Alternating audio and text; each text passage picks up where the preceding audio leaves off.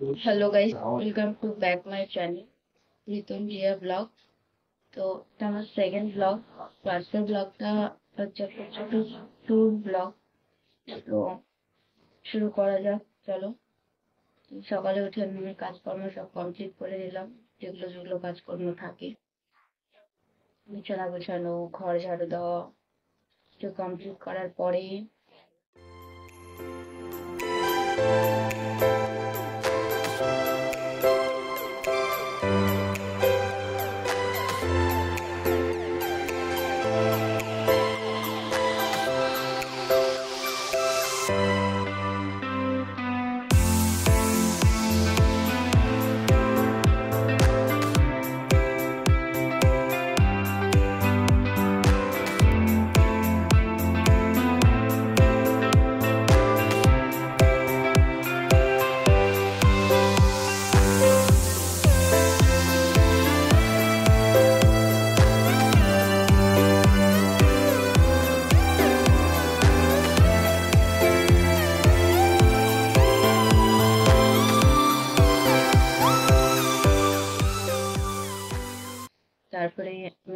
গেলাম চা বানাতে।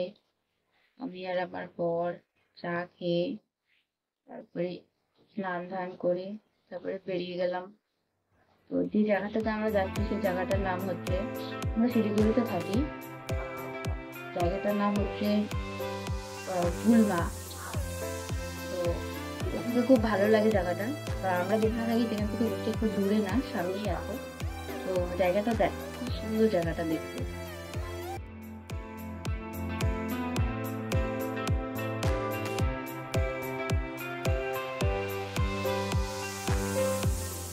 তো যেতে যেতে রাস্তার মধ্যে ঢুকলাম একটা তরমুজগুলো নিয়ে যাচ্ছিল। তো দেখে আমার খুব খেতে ইচ্ছে করল। তো আমি দাঁড়ালাম। তো আনারস খেলাম। খুব মিষ্টি ছিল আনারসটা।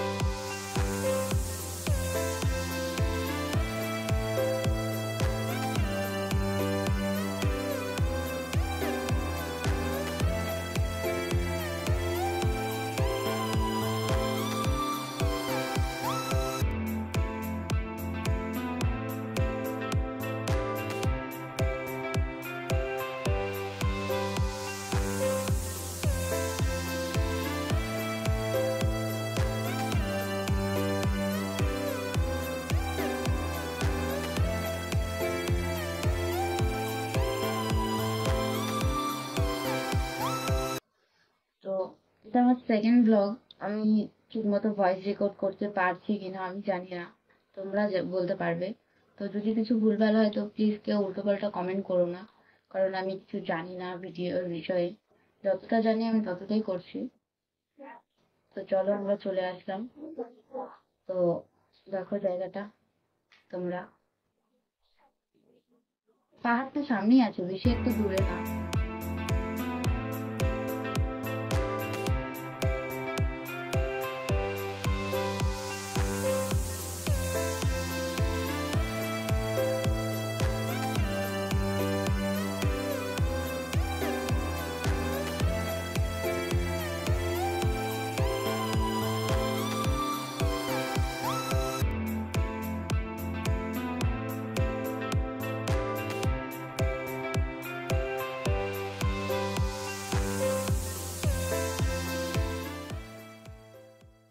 তো যেতে যেতে দেখলাম সামনে একটা কুল গাছ আছে।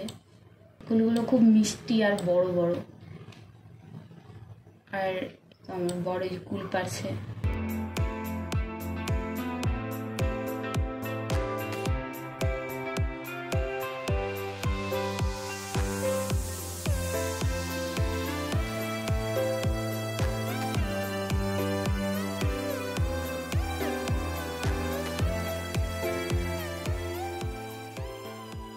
এগুলো কি জানো? যাই হোক এরা এদিকেই থাকে। হ্যাঁ? তো এরা ওই জঙ্গল থেকে খড়ি ঠড়ি এগুলো নিয়ে আসে। জায়গাটা খুব সুন্দর দেখতে। বাড়ির সামনে বেশি একটা দূরেও না খুবই সুন্দর। তো চলো আমাদের ঘোরা কমপ্লিট হয়ে যাওয়ার পরে একটা দোকানে ঢুকলাম। খিদে পেয়েছিল। দুপুর টাইম ছিল তখন। তো ঢুকলাম।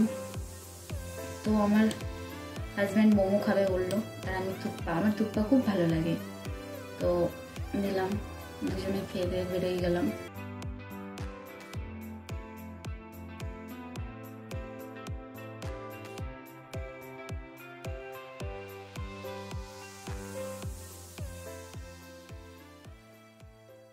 তারপরে রাস্তায় একটা মানে ফুলের দোকান দেখলাম।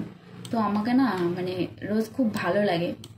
সে মানে আমি যখনই দেখি তখনই আমি একটা কিনবই। মানে এটা আমার মানে অভ্যাস, আমাকে খুব ভালো লাগে। তো আমি নিলাম একটা রোজ।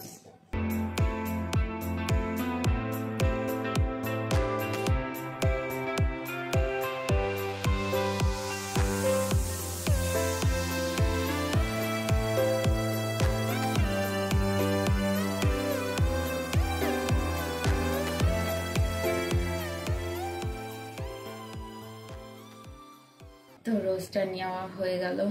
তো এখন যাচ্ছি বাড়ির দিকে।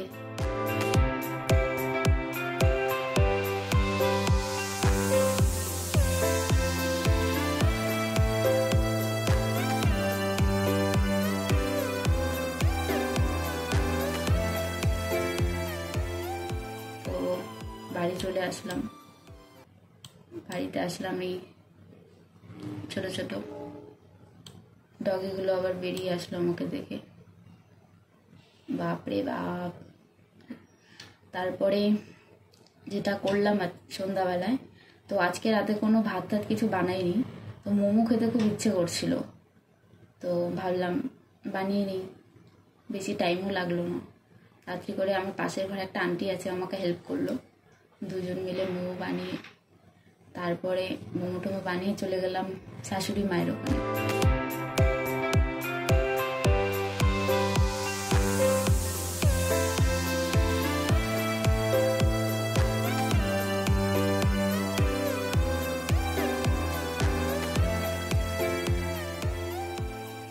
তো শাশুড়ি মায়ের ওখানে গিয়ে মাকে মোমো দিলাম, দিদিদেরকে দিলাম, ভাইদেরকে দিলাম।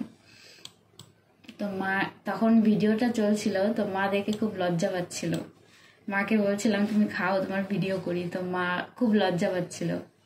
তো যাই হোক, মাকে মোমো টোমো দিয়ে বাড়ি চলে আসলাম। তো আজকে আমাদের রাতের ডিনার ছিল মোমো আর চা। আজকের ব্লগটা এতটুকুই।